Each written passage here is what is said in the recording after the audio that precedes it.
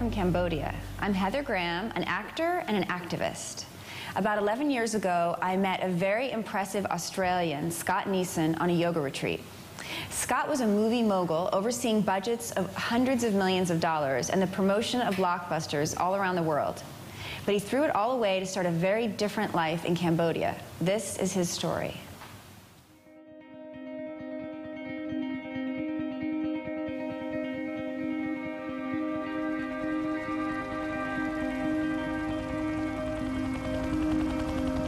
I've always felt like you've only got this one life to live, and I feel like I've had three, you know, three acts so far. I did the Hollywood thing. I, I accomplished more than what I ever expected, and it just didn't work for me. It wasn't what it promised.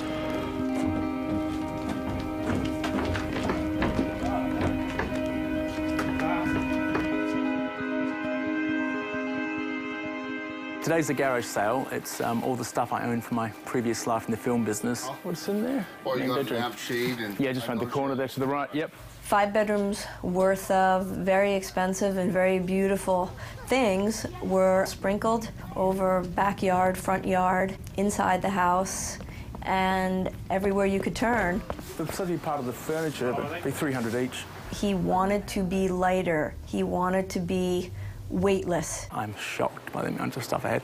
And you look at it and you can think, oh my God, I paid this much for it. In this choice, Oh, on the front porch. on the front porch. a lot of people around him and Scott himself probably figured he was having a midlife crisis. It's for sale in Beverly Hills for three and a half thousand. How many people do you know who have everything they want at their fingertips and will just sell all that off and just trade it for garbage?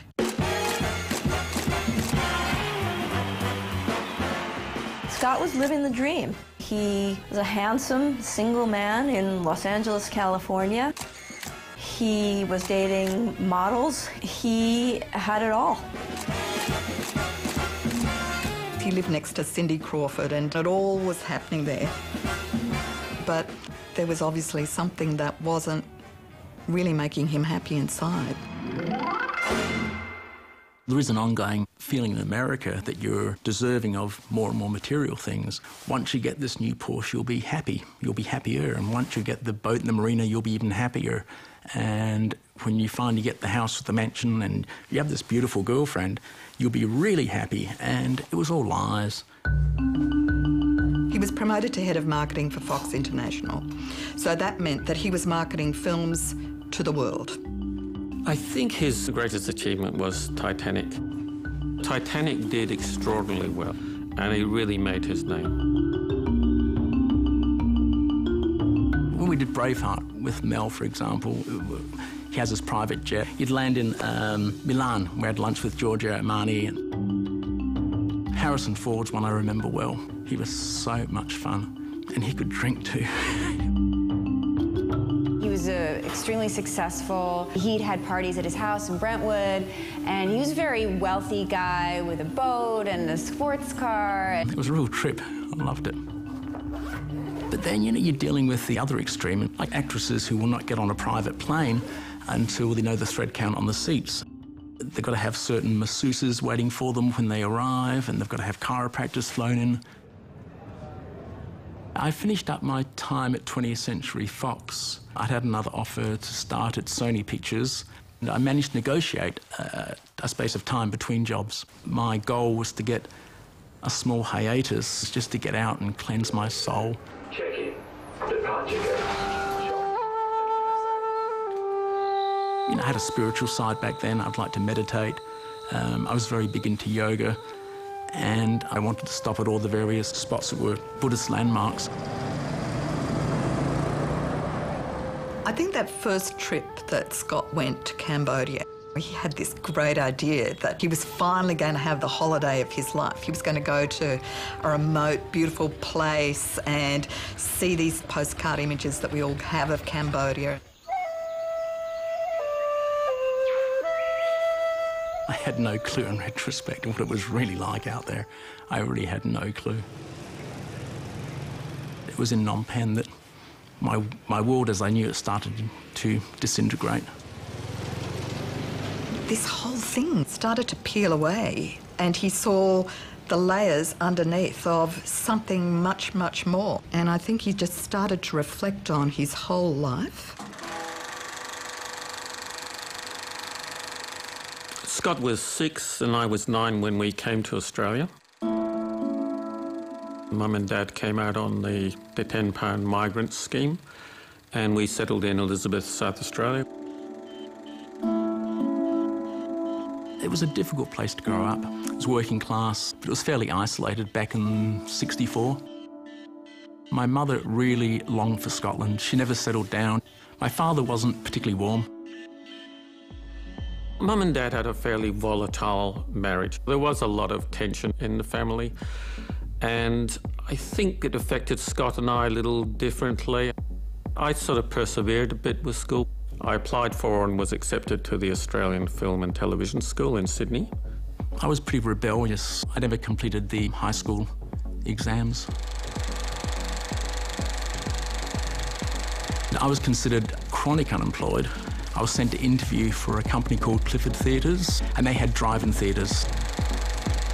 And they needed someone to deliver the posters, and I was an assistant in the marketing department, and that's how I started.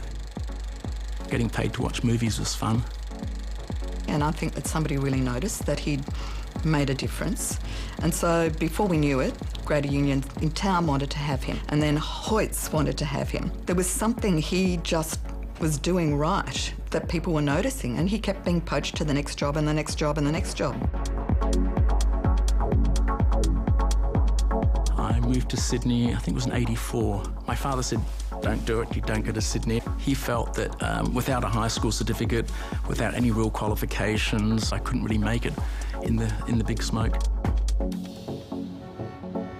Before long, uh, the Hollywood lights were calling, and Scott came across the pond and was the big boss. My father, my father made sure it was an anxiety-ridden period of it won't work out. You know, it's a big city; they'll eat you alive. And um, why are you giving up such a great job in Sydney? If you come back, you won't get another job. it was the whole thing all over again. Here we are in New York City. Took a long time to drive. And of course, being in the film industry myself and still having dreams of making films, it seemed like a ter terrific place to have a brother. I think it was very important for Scott to chase success. Scott Neeson is now Vice President of Marketing at 20th Century Fox Motion Pictures. I think at the time it was easy to frame as just making money, having a big job, and some sort of moment of, you made it, kid. He lived and breathed the film business. And to a degree, I always found with Scott that I couldn't quite make a, a really close connection with him. He probably had been working for about 12 years non-stop without any proper holiday.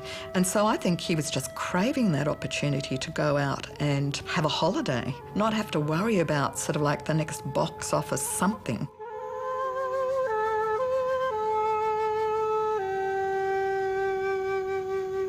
When I first went to Cambodia, my vision was, in retrospect, very limited. And I stayed at the Raffles Hotel. It was really um, just this perception of being a backpacker. I took a backpack, but that was about it.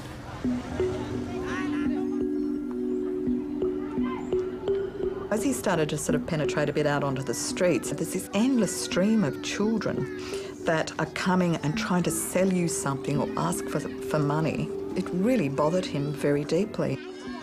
I was eating out on the riverside where a lot of the beggar kids are. And um, if you give them money, it's going to go to someone else. Um, if you give them food or drink, you've helped them for that one day. Scott met a guy in a cafe that said if you really want to help poor kids, you should go to the garbage dump called Stung Che on the outskirts of Phnom Penh, where there's a community of very poor people working there.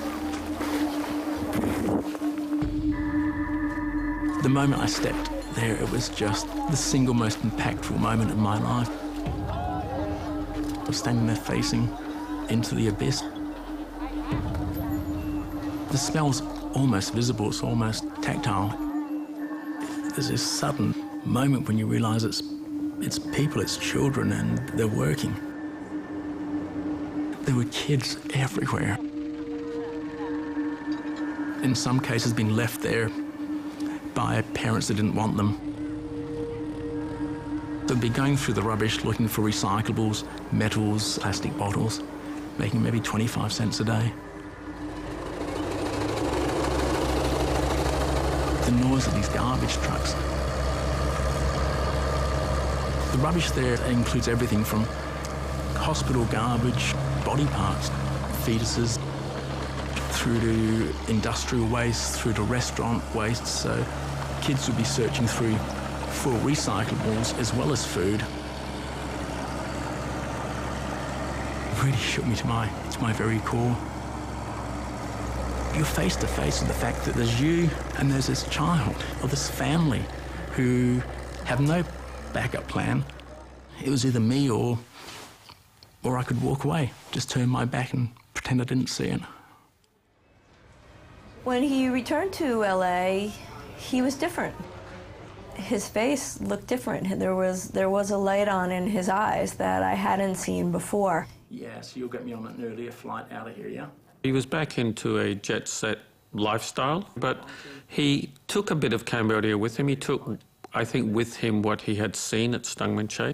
I was convinced I'd found my calling, but I'd seen some terrible midlife crises go down in Hollywood.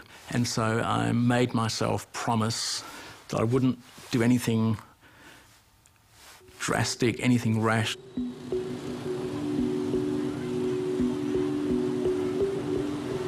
We're going down to um, Stung Meanchey. It's going to, um, down there for the night time, where most of the garbage trucks seem to come in. It was in July 2004. I was on a business trip, and I'd made a side trip to Phnom Penh, and I was standing on the garbage dump, and my cell phone rang, and it was my office in Los Angeles, and they patched through the major star of the time uh, and the star's agent. And they were very angry. They were ready to leave. They had a G5 sitting on the tarmac, but we hadn't put the right food on board the plane. The staff, in this most angry, indignant manner, said to me, word for word, said, My life wasn't meant to be this difficult. And it was, it was a synthesizing moment. You know, inside of me, it all just came together. If I'd wanted, and I did want, vindication that this was where I was meant to be, if I wanted a moment that would show me just how ludicrous the Hollywood life I had was, there it was. I guess we knew that Scott was getting really serious about this when he said he was selling the house in LA and that he was going to sell all the things in the house as well. 40, 60, 80. I used the money to start up CCF Cambodian Children's Fund, Yeah, this, here's 540 for. several hundred thousand of my own money into it to get it going. Just trying to work out how many kids can sleep here. I rented a building in Phnom Penh and hired my first staff member. Up and running by end of May. He told me about his plan to open a school. I thought it was possible because the plan was not too big. Scotty became the Pied Piper of sorts. His daily routine consisted of getting up and heading to the dump. My plan was to get around 45 children off the garbage dump. I hadn't finished my own education. It hadn't held me back. But these kids, if they were going to get off this garbage dump, they had to do it through going to school. She wants to go to school. Yeah? There was a magic in bringing the children to facilities that you better give them a school uniform, school bag, and a, a schedule. And we doubled in size within six months, and within the next four months, we doubled in size again. Sometimes he teased me, like, Noon, should we open uh, center number seven, center number eight? And then I just look at him and laugh. Eight years old, run by Janai. The first time we went, to visit was early 2005. You just couldn't actually believe what he'd done in an incredibly short period of time. Productivity has fallen down to minimal levels. He was energised. He was pumped. He was certainly Scott again. He wasn't playing a role of a, of a movie executive. Oh, yes, see? And go. I think it's really changed the dynamic between Norman and Scott and I. Norman and I have been making films in the area of social justice for, you know, 20 years, and all of a sudden, Scott did this huge about turn and started to do something that was just so big and amazing. You know, he was actually living this thing. We had a camera with us, and naturally, being filmmakers, we turned it on, and so some of those memories linger on tape now.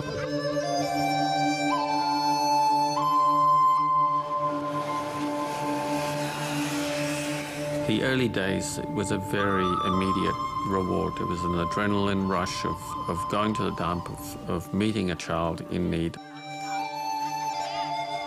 Over the years, I've seen a fatigue and a tiredness.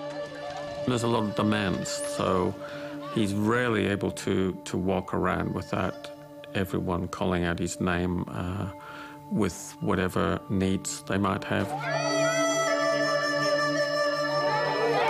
One, Two. That's it, I think. That should be it. All right, one more, one more, one more. Does he owe money on rent? Yeah. He says he owes three months.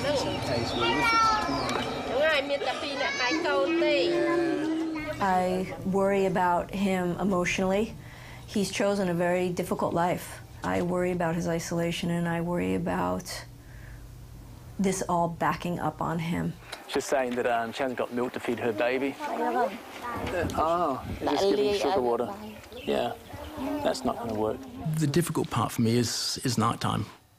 You know, when there's the silence and the darkness, it's you get some some bad thoughts going through the brain. There's only the grandmother left. The father pissed off and left a six-week-old. He you know, tried to sell his two daughters twice. High-risk environment for two girls of that age. You deal with things during the day that, in fact, you don't even think they exist. I've, I've come across there's physical assaults on um, six, seven-week-old babies. There's um, you know children as young as five or six being sold into brothels. There's um, there's rape, abuse, um, incest going on in families. The mother of these kids is sick. She looks really sick. There was the most appalling situation of a mother who was who was dying. She was lying on the garbage dump. I found out that she had a daughter, Tate, who I believe was about eight years old then. She'd been trying to keep the mother alive by going through the rubbish.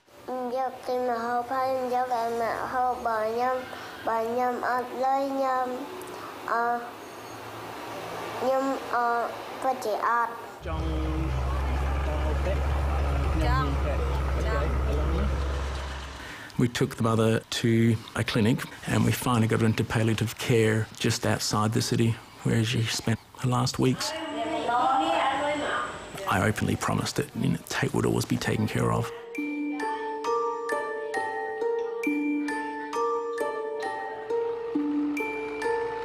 The challenges grew because the children that he was managing to get out of the environment, they inevitably had brothers and sisters in the same position. He only had about two months of reserves, and the promise, the investment, was a lifetime promise. So he had to work and think very carefully about how he was going to sustain that promise. Yes, listen to this. Go on to the See what he's saying. It was a defining moment because I had never asked people for money before. I found that I would be relying on other people's charity myself in order to keep these kids off the garbage dump and in school. How much is needed for a year? 603,000 We'll put up a third of that if someone will match. All right. Tony Robbins just donated $200,000. Donna Karan, how much? All right, now we're talking, honey. That's what I'm talking about. Scott's a humanitarian, but he also has this side where he can get people to give him money. So in a way, He's this beautiful, pure-hearted man, but he's also can manipulate like people into like doing what he wants, which is great. By 2009, 2010, we had this very functional education system. We had a very good relationship with all the families down there. There's become a sense of real trust. Around that time, Scott found out that there was a man who had set up a kind of a copycat activity down at the dump and that he had actually bought one of the girls from her mother. He was a convicted pedophile in the UK. It was just too close to home that he's coming to the families of some of the children in our care who are being educated there. My idyllic organisation, it was, it was just sideswiped me. And I felt a degree of culpability because you know, I was this Western guy that would be down there and I was helping the families and I'd set up this um, trusting relationship and this guy was exploiting it.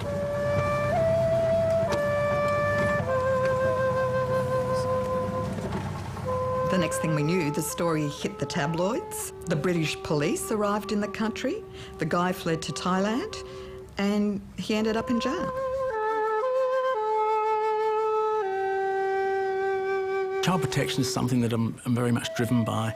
I'm meeting with people in the judiciary, meeting with people I hope will put money into this because I really want to get a better deal for these kids. I think the great thing is it's a bright light in a, in a sea of darkness, mm-hmm. really. I have a particular interest in human rights, and uh, I first went to Cambodia um, to have a look at CCF, and one of the questions in my mind was um, uh, how safe are these children? Because at the moment they have basically the perpetrator the child and a policeman, and each give their own versions. I felt entirely comfortable with CCF that uh, there was a great deal of effort made to ensure that these children uh, were in a safe environment and that they were kept safe. Kids come to you like magnets. You have to accept that, but at the same time, it, it gives you a huge responsibility if you are a Westerner in that situation. It's just a lot of it's just common sense. I was ensure that I'm never alone with a child. My office door is never shut. Um, I've always got staff around. the. Yeah. All the community people and as well as the, the students view Scott, I would say, as a living God to them. They call Scott Pa Pa, which means a father.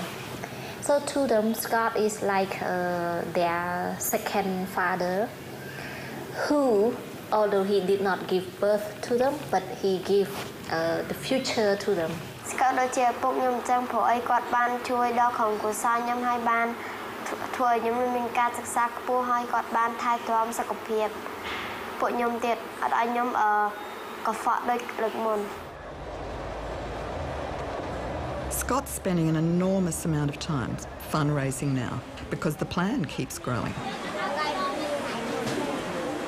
The journey that he's been on has changed from pulling the children out of the environment to trying to improve the environment itself.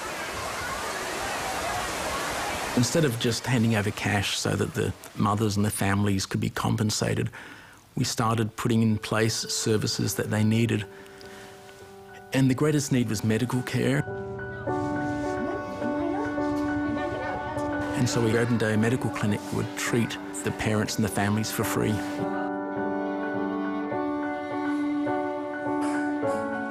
And then I think he was really starting to think about, well, hang on a minute, what about all the babies that are with their mothers down here? And building up ideas like that he could provide daycare or a nursery for kids while their mothers were working down there. And then why did the mothers have to work there? Can I create some work opportunities for them? All the time, what you were seeing was uh, uh, practical work uh, designed to help people take control of their own lives. Well, I think he seems very fulfilled now. Like, I got all these children into school that wanted to go to school, and then I, I built these buildings. I think he's sort of like a father to like like a 1,100 children.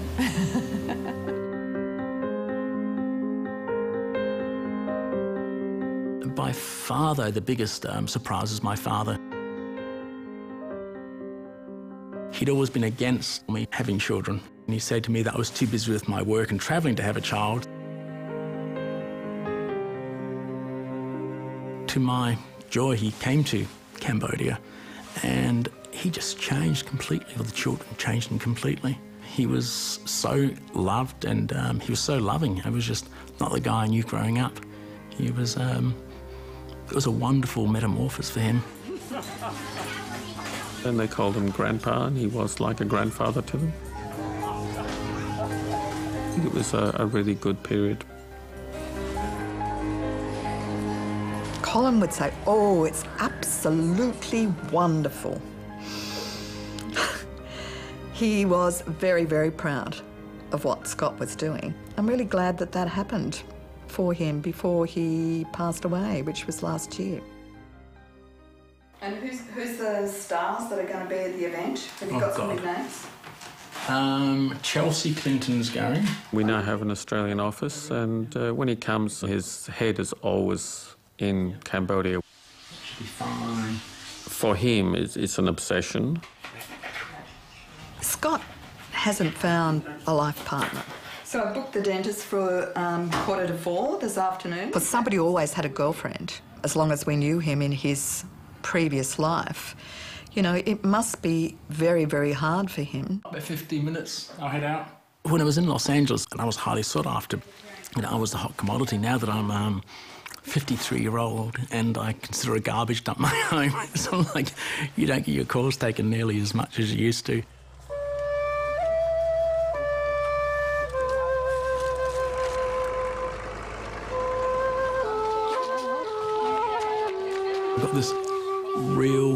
Urge to be the perfect role model for these kids.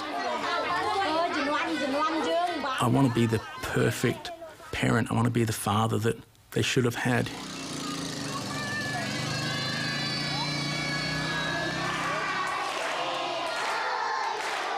Seeing the result of what I've done, I can actually take in that, you know, there is a purpose here.